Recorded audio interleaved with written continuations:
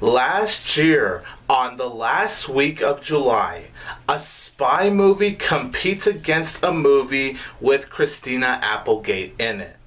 Now, this year, on the last week of July, a spy movie competes against a movie with Christina Applegate in it. Either this is too much of a coincidence or it could be the work of the Illuminati.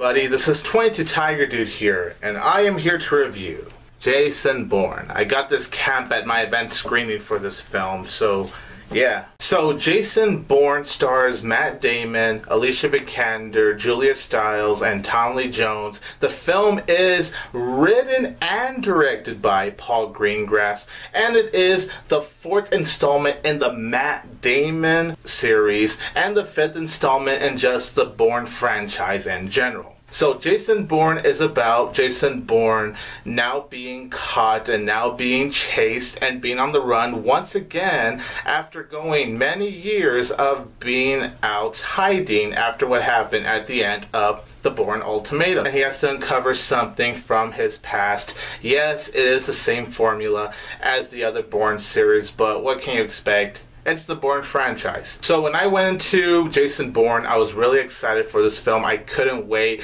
This film had me absolutely pumped because I am a huge fan of each of the franchise Bourne, I- Bourne Identity, Bourne Supremacy, Bourne Ultimatum, and yes, the Bourne Legacy. I'm actually a fan of the Bourne Legacy as well. I actually think that's a very underrated film. And I'm really hoping one day we could get a movie where Jason Bourne and Aaron Cross could team up together. Paul Greengrass writes this film this time around, however, because the one that would helm the scripts for these other films are really Tony Gilroy. Tony Gilroy does not write the script for this film like he has done with the other Bourne movies. So this time around, Paul Greengrass is doing both the writing and the directing. And coming out of Jason Bourne, unfortunately, this movie, in my opinion, is a massive disappointment. Jason Bourne is the weakest in the Matt Damon Bourne franchise and just in general, the weakest Bourne movie ever. Because, like I said, I actually liked Legacy. Of course, there are some good things about this film, however, and definitely by far the best thing coming out of Jason Bourne is the character himself. Jason Bourne. He's still this very interesting character. You still care about this character. You still root for this character. And Matt Damon still absolutely brings it as Jason Bourne 100%. He has the physicality of Jason Bourne. He still has the energy of Jason Bourne. You can still see Matt Damon having the passion for his character. And you know what else is great to see back? Julia Stiles as Nikki. It's so great to see her back here because this is a character we followed in the other installments. Alicia Vikander, who I thought did a very good job as the character of Heather. I thought Heather was actually a very interesting character. I wish we could have known more about the Heather character, I will say that, but for what we got of this character, I thought she was actually very interesting, especially as the movie is going along without spoiling anything, of course. I just thought it was very cool. Tommy Lee Jones, great to see him. He plays the CIA director in your nice Tommy Lee Jones form.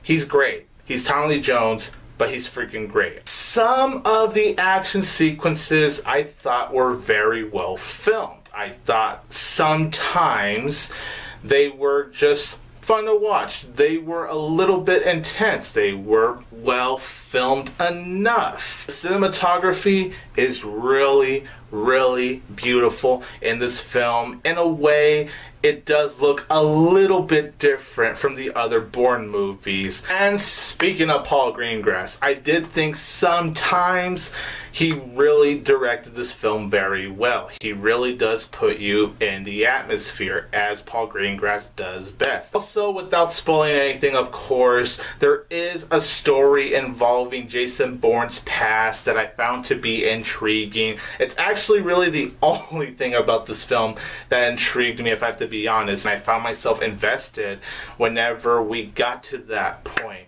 in the film. The ending of the movie was really good. And I know I keep saying this, but I'm not spoiling anything. Just where the movie ended, I was all like, oh yeah, that's how you end a Bourne movie. That's exactly how you end it.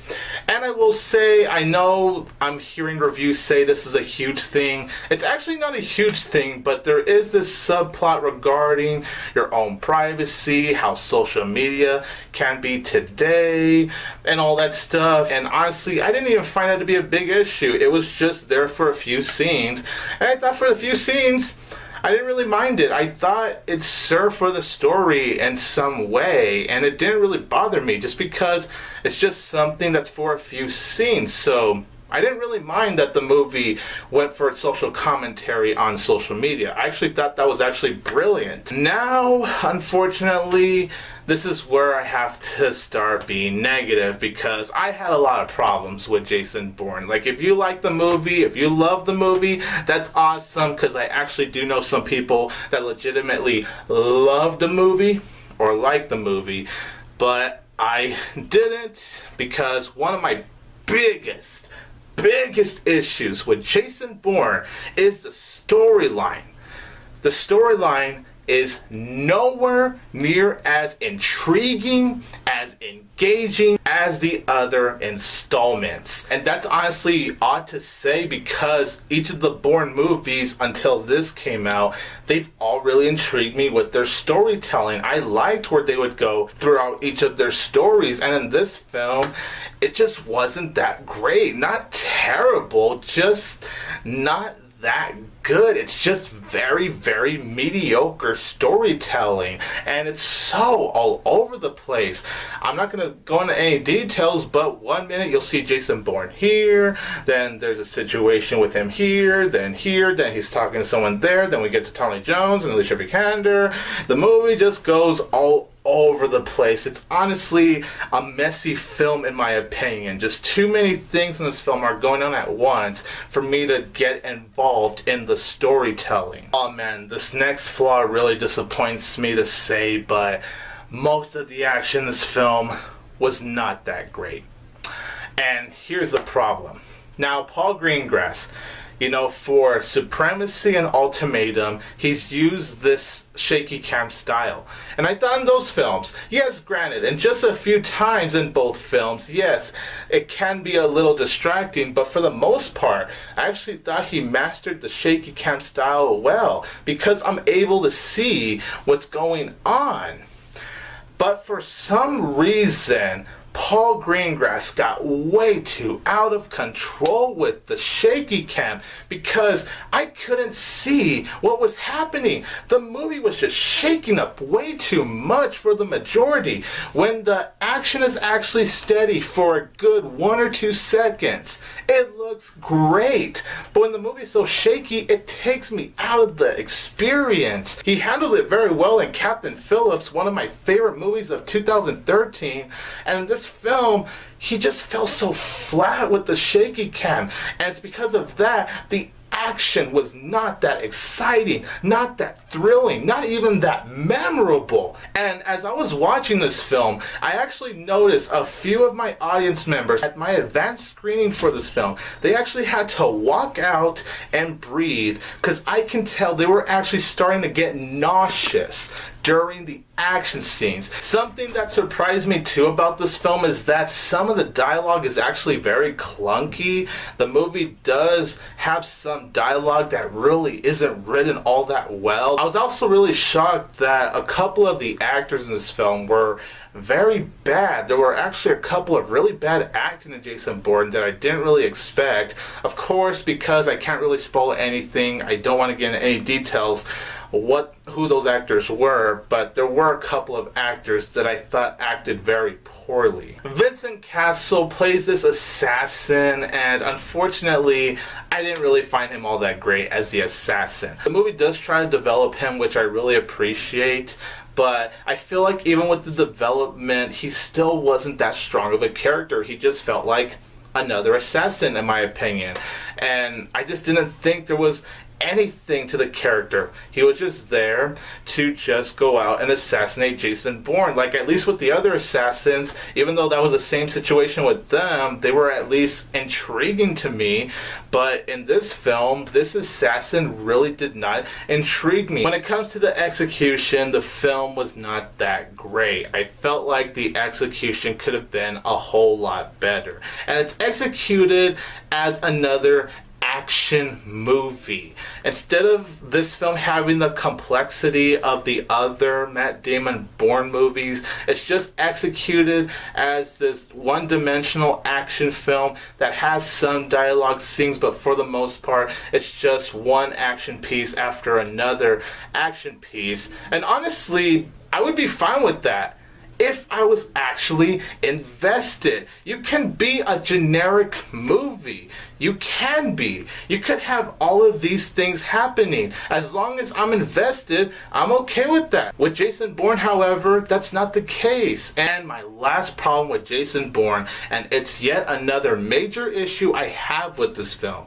is a certain situation that happens in the opening action sequence those that have seen this film know exactly what I'm talking about. I'm not going to spoil what it is, but when this certain situation actually happened, I actually sat in the theater going, Are you freaking kidding me?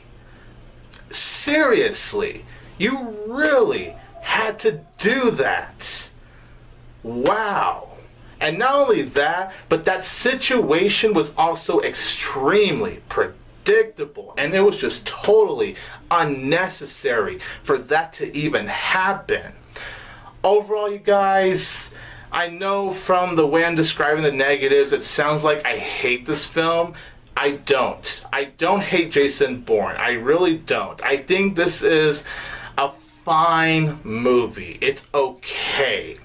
The reason I just sound so mad is because I'm frustrated. There's a difference between just straight up hating a movie and just being frustrated with the movie. I'm frustrated because this movie had a lot of potential to honestly be at least a good movie. I want this to be at least good. Yes, Matt Damon still kicks ass as Jason Bourne. Julia Stiles is still great as Nikki. Tommy Jones, Alicia Vikander, they're still great. Some of the action is well done, some of the direction is well done, but unfortunately, most of the action is so nauseating to watch. Most of Paul Greengrass's direction is not that good, and the storyline is not that well executed. It's not intriguing. The only thing that's really intriguing about this film is Matt Damon's past, and that's about it. Other than that, I honestly found myself bored for the majority of Jason Bourne, and you don't want to be bored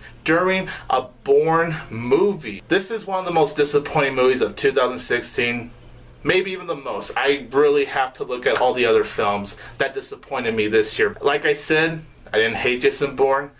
But man, oh man, it is a massive disappointment. And I have to give Jason Bourne two out of four stars comment down below. Let me know what you think about Jason Bourne. If you liked it, if you loved it, that's great. I just didn't feel that way. But where does Jason Bourne rank with the other Bourne movies? Yes, that does include Bourne Legacy. And also, you guys, I actually did get to collab with one of my good YouTube friends, Justin Watches Movies, to review the Bourne Ultimatum. And I'm very happy to be reviewing it. So if you guys want to check out that review, I will leave a link in the description down below. This is 22 Tiger Dude here. And don't forget that I was born to have tiger power.